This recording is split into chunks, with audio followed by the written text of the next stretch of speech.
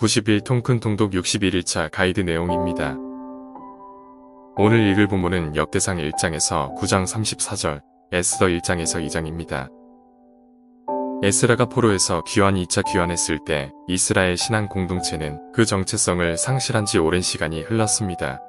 에스라는 이스라엘의 재건, 즉 하나님 나라의 재건이 그들의 신앙 공동체의 정체성 회복으로부터 출발해야 함을 잘 알고 있었습니다.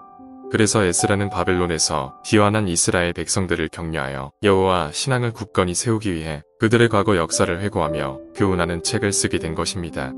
에스라는 포로에서 돌아온 이스라엘 백성들에게 그들이 하나님의 백성의 혈통에 속한 사람들이라는 것을 보여주고자 했습니다. 하나님께서 역사상 중요한 역할을 맡은 민족으로 이스라엘을 어떻게 선택하셨는지를 보여주기 위해 많은 이름들을 일일이 나열합니다.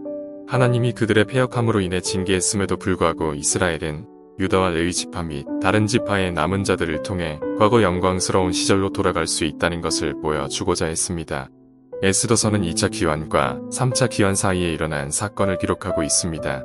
에스더서는 귀환하지 않은 자들에 대한 하나님의 마음을 기록한 책입니다. 에스더서는 위기에서 하나님이 자기 백성을 보호하시는 그의 섭리적 보존을 보여줍니다.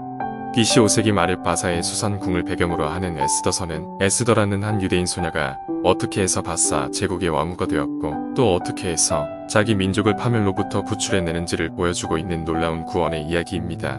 에스더서에는 하나님이란 말이 전혀 나오지 않지만 자기 백성을 돌보시는 하나님의 손길이 성경 어느 책보다 확실히 나타나고 있음을 볼 수 있습니다. 에스더 사건은 페르시아의 크세르크세스 성경에서는 아하수에로 왕 통치 시에 일어난 사건입니다. 말씀이 삶이 되는 하루를 위한 적용입니다. 하나님은 자기 백성을 돌보시는 주권자이십니다. 오늘 하루도 주권자 하나님의 다스림 속에서 이니또 힘이 고 해보십시오. 함께 기도드리겠습니다. 나에게 임하시는 하나님의 섭리를 깨닫게 하옵소서. 어떤 경우에도 나를 버리지 않으시는 하나님이심을 잊지 않게 하옵소서. 예수님의 이름으로 기도합니다. 아멘. 여기까지 91통 큰 통독 61일차 내용이었습니다.